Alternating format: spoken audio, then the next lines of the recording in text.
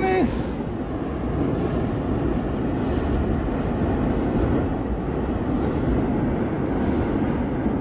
Derrame del cono norte. En directo. Unidad Militar Emergencias. Instituto Geológico y Minero de España. Derrame de la segunda.